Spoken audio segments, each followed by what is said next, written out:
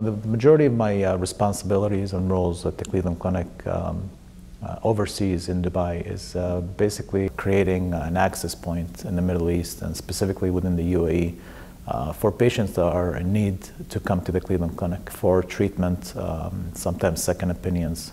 So uh, it's more of a platform to really provide uh, closer access to our patients in the Middle East. We help them to travel to the Cleveland Clinic, arranging appointments, help them with the logistics, assist them with visas to the U.S., information regarding you know hotel stay, transportation once they arrive to, to Cleveland, in addition to other information that they need once they contact GPS and obviously go through their appointments at the Cleveland Clinic. It's really one organization or at least one team providing access to patients and even other uh, opportunities or inquiries that comes in.